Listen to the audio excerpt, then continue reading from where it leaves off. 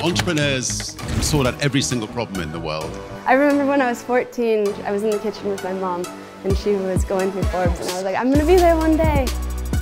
To have that association with some of the most successful entrepreneurs in the world. It's an amazing accomplishment to be on the Forbes 30 under 30 list. And in this video, I'm gonna share with you exactly how to make the 30 under 30 list, what the process is like, the benefits of being a 30 under 30 lister. And at the end of the video, I'm gonna share with you a few different tips of what it takes to be on the list from someone who's actually done it. So sit back, buckle up, and let's begin the video.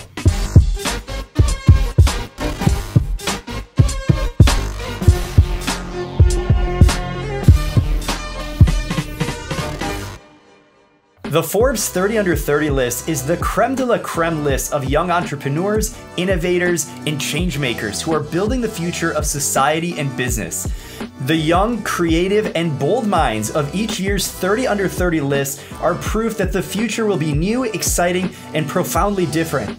These entrepreneurs are teaching viruses to fight cancer, developing technology to help astronauts breathe on Mars, and creating strings of hit songs that fuel our daily playlists. You may already be familiar with the Forbes 400 list. It's basically a list of the 400 richest people in the world. At the top, you'll see Jeff Bezos, Elon Musk, Mark Zuckerberg, and other wildly successful business people. To make the Forbes 400 list, you need to have a net worth above $2.1 billion. But the Forbes 30 under 30 list, while still exclusive, is a bit more attainable for most people. There's actually 20 different categories ranging from music to consumer technology. All honorees, also called listers, are under the age of 30 and making big moves in their respective industries. Since 2011, the annual Forbes 30 Under 30 lists have been recognized as the definitive search for the world's most inspiring young innovators, bright rising stars, and the leaders of tomorrow who are transforming the world. Unsurprisingly, past listers have won gold medals, won the Super Bowl, Pulitzer Prizes, and more. They include the likes of Facebook's Mark Zuckerberg, Snapchat's Evan Spiegel, and a host of other famous names that would indeed overlap with the Forbes 400 list. It was an incredible opportunity to make the list myself in the consumer technology section. My co founder and I were named to the Forbes 30 Under 30 list for 2020 for our work building My Swim Pro. So, what's the big deal and how do you get on this list? Well, at the surface, it's pretty obvious. Being on the cover of Forbes magazine is kind of a big deal.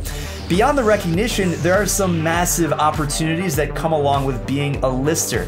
In fact, it's not really a list, it's more like an exclusive community of innovators around the world. There's private meetups, Facebook groups, there's even a mobile app, but most of the time, it's just something that you can add to your LinkedIn bio and use it to get you in the door. Building partnerships, recruiting team members, raising money. It's just another form of validation to show the world and your industry that you're doing something big. It's sort of like street cred. It's similar to having a degree at an Ivy League school or working for a prestigious company, even working at the office of a famous politician. Access to this global cohort of ambitious millennials opens up a world of contacts, experiences, and peer support from entrepreneurs of every background and industry imaginable. Take me, for example, the son of two Syrian immigrants. I was listed in Forbes Middle East among other 30 under 30 listers with Arab heritage. This is an amazing group of individuals who all share the same ethnic background as me, and it's pretty amazing to connect and support each other at every level. There's also these annual events called the Forbes 30 Under 30 Summit. I attended last year's in Detroit and it's pretty amazing. They bring the top entrepreneurs in the world, people like Richard Branson, Serena Williams, and Jessica Alba. It's pretty hype. We just left the Forbes 30 Under 30 Summit. Just imagine a networking event where everyone you talk to is changing the world in some way. That's no exaggeration. It's a place to be, and the people it brings together are amazing. So let's get into the details of how you actually get into the Forbes 30 Under 30 list.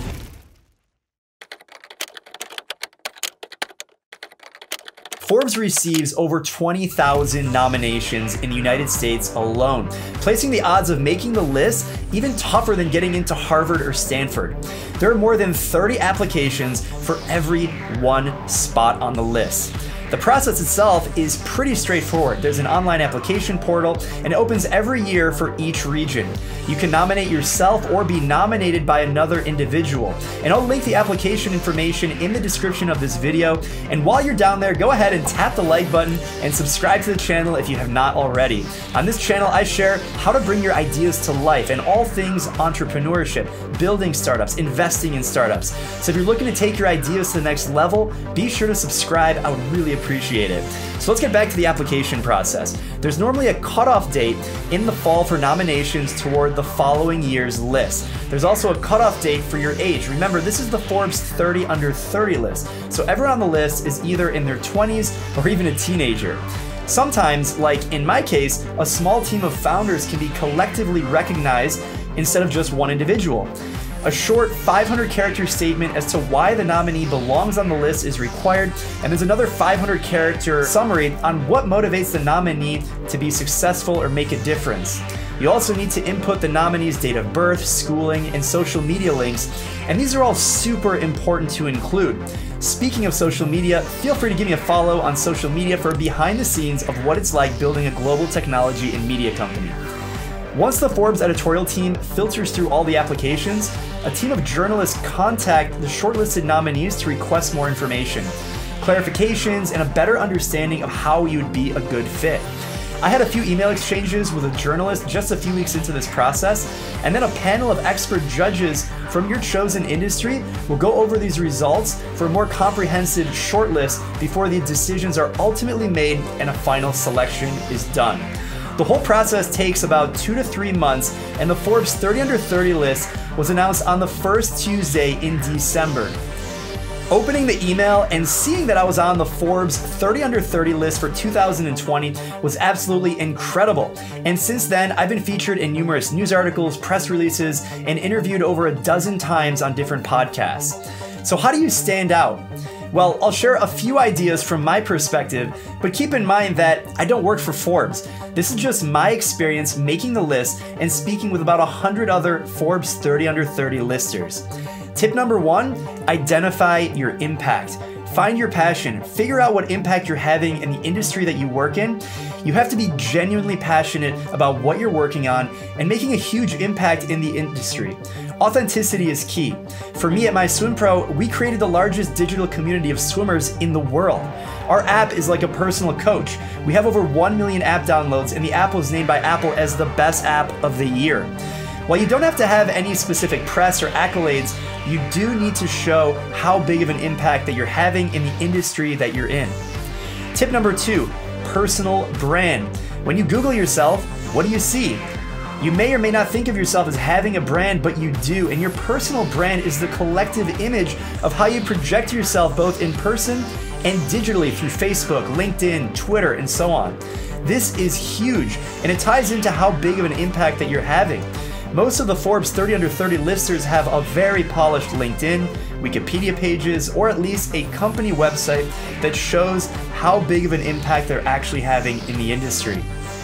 Tip number three get nominated from other Forbes 30 under 30 alum. This is key. I was nominated by a few Forbes 30 under 30 alums that I knew, and they encouraged me to nominate myself and ask other Forbes 30 under 30 alums to nominate me as well. Make sure you actually know these people. They need to know you to give a true recommendation and nomination. I did just that, and in the nomination form, there's actually a field to mark if you're an alum of the program or not.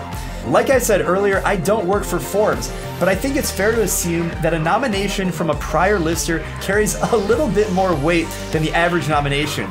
So it doesn't hurt to try and ask for some nominations if you do, in fact, know some of these prior listers. If you know someone who deserves to be on the Forbes 30 under 30 list, share this video with them. If you think you have the chops for it, nominate yourself. You got nothing to lose. Like any list, it's marketing.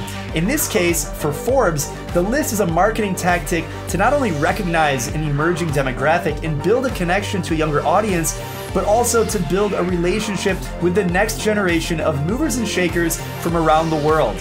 Take advantage of this opportunity. It's literally a once in a lifetime chance. You've got nothing to lose. If you have any questions, make sure you let me know in the comments. Be sure to like and subscribe to the channel if you haven't done so already. Wishing you guys all the best, and until next time, keep hustling.